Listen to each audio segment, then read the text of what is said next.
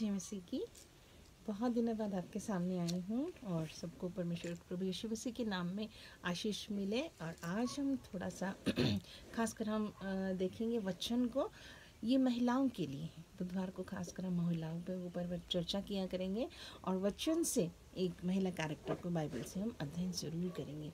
मैं आपके सामने पढ़ूँगी और हम इस कैरेक्टर को और इस महिला को बाइबल में की सब जानते हैं इसके बारे में। वो है मार्था और मरियम। तो हम इस इन इन लोगों को हम देखेंगे इसके बारे में। प्रभु हमें आज क्या सिखाना चाहता है? अ, लूका रचित समाचार दस और thirty eight thirty nine forty तीन आयतें मैं पढ़ूँगी। हम इस पर ध्यान करेंगे। जब वे जा रहे थे तो वह एक गाँव में गया। मार्था नामक एक स्त्री ने उसे अपने घर उतारा। मरियम नामक उसकी एक बहन थी। वह प्रभु के चरणों में बैठकर उसका वचन सुनती थी। परंतु मार्था सेवा करते करते घबरा गई और उसके पास आकर कहने लगी, हे प्रभु, क्या तुझे कुछ भी चिंता नहीं कि मेरी बहन ने मुझे सेवा करने के लिए अकेले ही छोड़ दिया है? इसलिए उससे कह कि मेरी सहायता करे। और परमेश्वर फोर्टी वन में लिखता है, प्रभु, कि प्रभु ने उससे उत्तर दिया, मार्था, हे मार्था, तू बहुत बातों के लिए चिंता करती है और घबराती है, परंतु एक बात आवश्यक है, उस उत्तम भाग को मरियम ने चुन लिया है, जो उससे छीना न जाएगा। परमेश्वर अपने वचन के पढ़े, सुने जाने पर हम सबको आशीष दे। यहाँ एक महिला है, मार्था। के बारे में हम देखते हैं और मरियम के बारे में भी देखा कि मार्था ने उस, लिखा है कि उसने उसको इनवाइट किया, अपने घर उतारा। अर्थात उसका आमंत्रित किया कि प्रभु यीशु मसीह, आप जा रहे हैं और आप हमारे घर आइए, थोड़ा बैठिए। और बुलाने के बाद क्या करती है? जल्दी जल्दी खिलाने पिलाने की सेवा में लग गई है और करते करते क्या हो रही है? घबरा जाती है। और मरियम को हम देखते हैं, वहाँ पर शांत है, लेकिन वो आकर के क्या करती है? आके प्रभु यीशु मसीह जब बैठे हैं, जब उसको चेयर दी होगी, मार्था ने कहा होगा, यहाँ बैठो यीशु मसीह, आप आए हैं, यहाँ बैठ जाओ। और वो किचन में चली गई होगी। और मरियम ने उसको चरणों में बैठ कर कहने लगी कि प्रभु, आपके वचन सुनना है मुझे। ना, उसका चुनाव फ़र्क था। अब यहाँ देखने वाली एक बात है, हम भी मसीह महिलाएँ, दोनों कैरेक्टर में हमारे पास होते हैं। हाँ कभी तो हम बहुत व्यस्त हो जाते हैं कभी कभी हम वचन को प्राधान्यता देते लेकिन अगर हम मसीही महिला हैं तो हमारे जीवन से क्या परमेश्वर को वो योग्य मही, महिमा मिल रही है? इस संदर्भ में हम आज थोड़ी सी चर्चा करेंगे। अगर हम परमेश्वर के साथ चलना चाहते हैं परमेश्वर को परमेश्वर आपकी तारीफ़ करना चाहता है और परमेश्वर की आप महिमा करना चाहते हैं तो हमारे जीवन से क्या बातें मिलनी चाहिए? ज़रूरी है कभी कभी होता है कि हमने क्या है, बपतिस्मा भी ले लिया, हमने वचन का ज्ञान है हमारे पास हमारे पास अभिषेक है, प्रार्थना, उपवास करते हैं, और हम जानते हैं कि परमेश्वर की उपस्थिति हमारे साथ है। स्वयं यीशु मसीह का नाम इम्यानुअल वो हमारे साथ है। फिर भी हम क्या जाते हैं, कभी परिस्थिति में घबरा जाते हैं। यीशु मसीह है आपके घर में? उपस्थित है। हम्म, कुछ लोगों का फोकस प्रॉपर यीशु मसीह को दिख रहा है। लेकिन आप क्या करते हैं? डर जाते घबरा जाते और अपनी परिस्थितियों से घबरा जाते तो हमें चाहिए कि ना केवल हम अपने जीवन में अपने घर में उसको इनवाइट ही नहीं उसकी तरफ़ हमारा आकर्षण प्रॉपर होना चाहिए। हमें उसके जीवन से इंस्पायर होना चाहिए। हमें यीशु मसीह की शिक्षाओं की तरफ़ ध्यान देना चाहिए। ये नहीं कि आगे यीशु मसीह अच्छा ठीक है, आप बैठो, मैं अपने काम में मशगूल हो जाऊँगी। नो हमारा फोकस हमारा अट्रैक्शन प्रभु की तरफ़ हो कि प्रभु सब काम धाम छोड़ के मैं मरियम के समान तेरे पास बैठ के वचन को सुनना चाहती बता प्रभु, स्वर्ग राज्य की बता तू बातें कितनी अच्छी बताता है। क्या हम ऐसा कह सकते हैं? ज़रूरी है कि मेरे और आप में वो आकर्षण प्रभु यीशु मसीह के लिए वो आकर्षण की शक्ति मेरे और आप में होनी चाहिए कि मैं अट्रैक्ट कर सकूँ। क्या कब आएगा ये हमारे पास? ऐसी बात, जब हमारे बीच में अंदर चिंताएँ नहीं होंगी, संसारिक चिंताएँ जब नहीं होंगी, आपको किसी बात का डर नहीं होगा कि अरे बाप रे, कल क्या होगा, मैं कैसे काम करूँगी, मैं अकेले पड़ गई। ये सब जब आपके पास भय नहीं होगा, आपका जीवन जब भय रहित होगा, चिंता रहित होगा और आपके ऊपर कोई बात का बर्डन नहीं होगा कि बस आपको ही करना है। कोई जिम्मेदारियों से मुक्त होकर के, चिंता से मुक्त होकर के और आप तमाम डर को दूर रख करके जब आप देखते हैं ना तो आपको यीशु ज़रूर दिखेगा। आपके पास दिखेगा।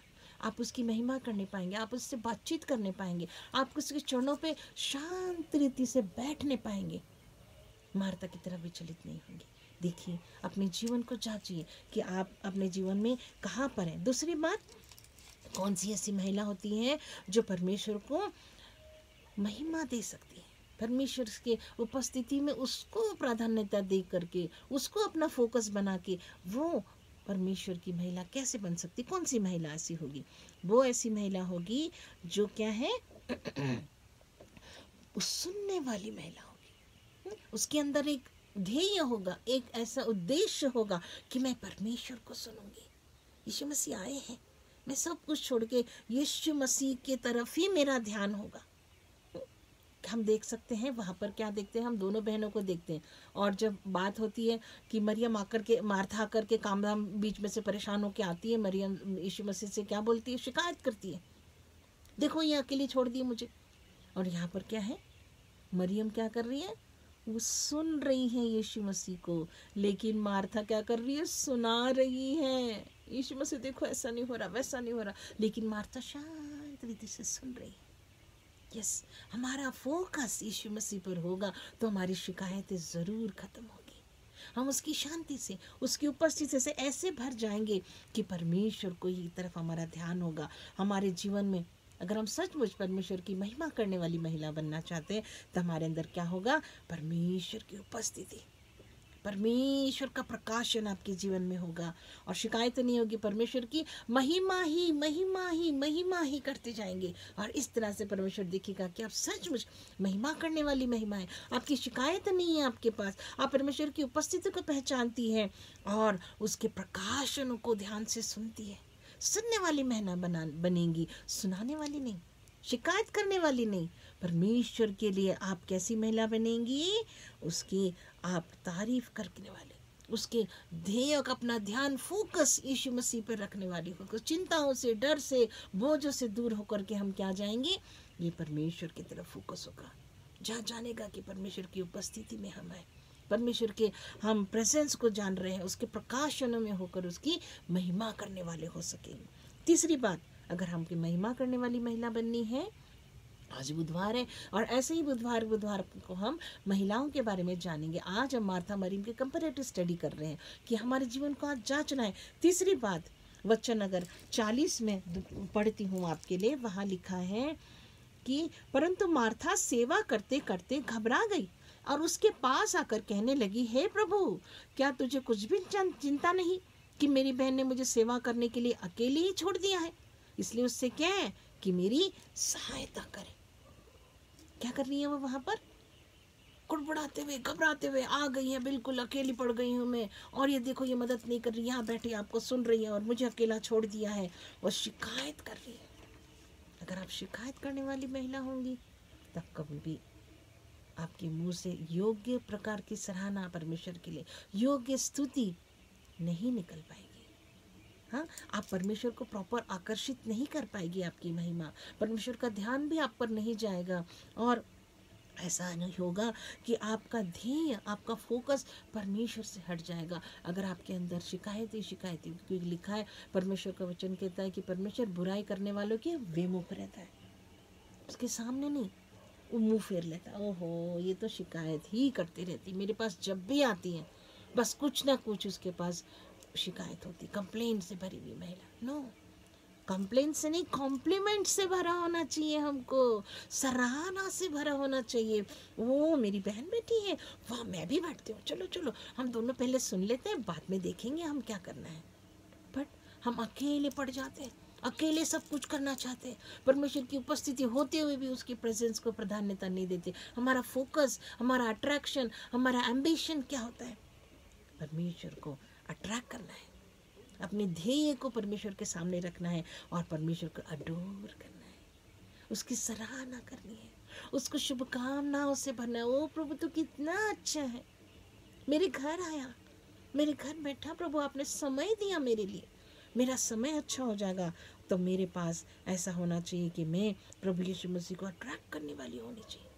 मेरे अंदर वो ऐसे उद्देश्य हो कि मैं प्रभु को ही देखूँ। मेरे अंदर वो सराहना होनी चाहिए कि मेरे अंदर से केवल यीशु मसीह की तारीफ़ निकलनी चाहिए। बहुत बार हम क्या बोलते हैं कि, हे प्रभु, इन्होंने लोगों ने मुझे छोड़ दिया। सब मेरी बुराई करते हैं, मेरे पास कोई नहीं है। और इस तरह से हम परमेश्वर के पास शिकायतें लेकर के आते लेकिन जब इन बातों को, इन बुराइयों को जब हम छोड़ देते हैं खासकर कौन सी कौन सी बुराइयाँ? कुछ ना कुछ छोटा बड़ा पाप हमारे अंदर होता है। कुड़कुड़ाहट का पाप भी होता है। वचन कहता कुड़कुड़ाने वाले मसीह ना बनो। हमारे अंदर सिंफुल नेचर नहीं होना चाहिए। हमारे अंदर चिंताओं का नेचर नहीं होना चाहिए। और दुष्टता हमारे अंदर से वो कैसी कर ली ये, ऐसा है, वैसा है। ओ, नो, दोष लगाने वाले नहीं। सराहना करने वाले बने। और सचमुच अगर हमारे अंदर ये गुणों को हम ज़्यादा प्राधान्यता देते हैं ना तो सचमुच हमारा शिकायतों का जीवन दूर हो जाएगा और हमारा जीवन महिमावंत हो जाएगा। हर बात में, हर लोगों में जो यीशु की उपस्थिति में चलता है, हम उनकी पीठ पीछे बुराई नहीं करेंगे। हम यीशु की सराहना करेंगे। प्रभु तो कितना अच्छा है। तो धर्मी, अधर्मी दोनों पर अपना सूरज उगाता है। तो सबको क्षमा करता है। प्रभु तो कितना अच्छा है। मुझे भी अच्छी महिला बना। मुझे भी ऐसी बना कि मैं अपनी शिकायतों के स्वभाव को छोड़कर, पापों के स्वभाव को, झूठ के, परेशानियों को, शिकायतों के स्वभाव को छोड़कर प्रभु राजा, हर दुष्टता को दूर करके प्रभु, मैं हमेशा आपकी ओर आकर्षित रहने वाली हो सके। आपको केवल आमंत्रित करके अपने घर में ही नहीं बुलाऊँगी, अपने दिल में ही नहीं बुलाऊँगी, मैं अपने जीवन में ही नहीं, अपने स्वभाव में प्रभु यीशु मसीह में आपको लाना चाहती हूँ।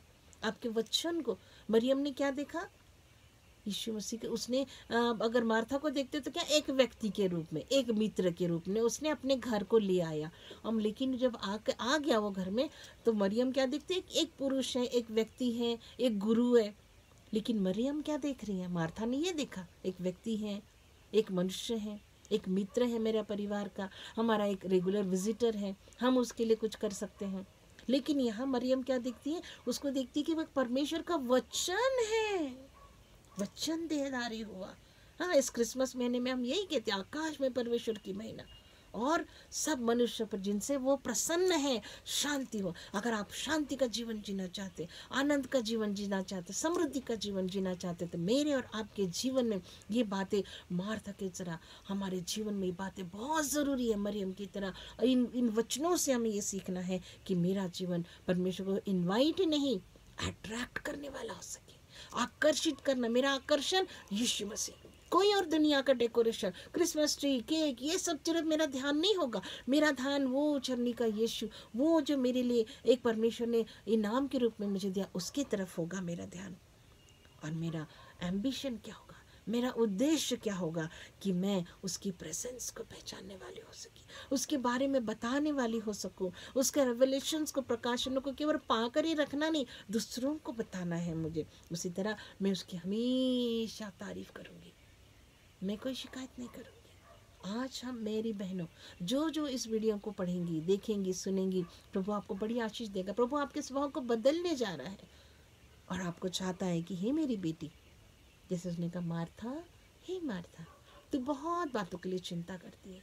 मरियम के समान वो भाग चुन जिसमें वो उसका फोकस यीशु मसीह है, वो वचन के रूप में देखती है, वचन को सुनना चाहती हैं और वचन से ही परमेश्वर की महिमा करना चाहती है। तो मेरे जीवन में, आपके जीवन में एक बात हो कि मेरा अट्रैक्शन यीशु मसीह मेरा एम्बिशन यीशु मसीह हो और मेरा अडोरेशन यीशु मसीह मेरी सराहना आओ हम यीशु मसीह को बड़े धन्यवाद के साथ पूजने, आराधना करने वाले हो सके। मेरा फोकस इस क्रिसमस के समय पे अन्य बातों पर नहीं। अब कपड़े लेते ये, वो चीज़ों पर नहीं। मेरा फोकस यीशु मसीह होगा। मेरा ध्येय यीशु मसीह होगा। मेरा आकर्षण यीशु मसीह होगा। और उसी की मैं सराहना करूँगा। उसी की मैं स्तुति करूँगा। और उसका धन्यवाद करूँगा कि साल के आखिरी तक भी आपने परमेश्वर ने मुझे संभाला, आपको संभाला। हम धन्यवाद करते हुए प्रभु की एक छोटी सी प्रार्थना करेंगे, अपने जीवन को समर्पित करेंगे। प्रभु, मुझे करेक्ट कर। आकाश और पृथ्वी के निर्माण करता परमेश्वर। आपके हजूरी आते धन्यवाद करते ईश्वर राजा। इस वचन को, इस प्रकाशन को जो आपने हमें समझाया, मार्था और मरियम के जीवन के द्वारा प्रभु जी। हमारा जीवन कई बार कुड़कुड़ाहट से भरा होता, शिकायतों से भरा होता। उन सबको दूर कर हमें आपकी महिमा करने वाली महिला बना दीजिए प्रभु जिसके अंदर केवल उसका आकर्षण यीशु मसीह होगा। दुनिया नहीं होगी। संसार से हटकर, दुष्टता से हटकर, पाप में स्वभाव से हटकर मैं आपको सराहना करने वाली बन सकूँ। मेरा ध्येय वो हो जो यीशु मसीह हो, उसकी उपस्थिति हो, उसका प्रकाशन, उसकी महिमा ही मेरे जीवन में ध्येय हो। मैं आपको एक परमेश्वर का वचन, परमेश्वर का गिफ्ट जो हमारे लिए आया, उसका सुसमाचार मैं लोगों तक पहुँचाने वाली हो सकी। धन्यवाद के साथ कि प्रभु, मुझे बदल, मेरे जीवन में स्वभाव में बदलाव लाइए प्रभु जी, ताकि मैं हमेशा आपके लिए एक आपकी सराहना करने वाली, आपकी तारीफ़ करने वाली महिमा बन सकूँ और मेरा जीवन भी महिमामंत हो। शांतिपूर्ण हो, आपको प्रसन्न करने वाला हो, क्योंकि आकाश में जैसी महिमा है, इस पृथ्वी पर भी आपके पुत्र की, आपके वचन की महिमा करने के लिए आप हमें चुन लीजिए। प्रभु यीशु मसीह के सामर्थ्य नाम से प्रार्थना मांगती हूँ। आमेन आमेन। प्रभु आप सबको बहुत आयत से आशीष दे। आमेन।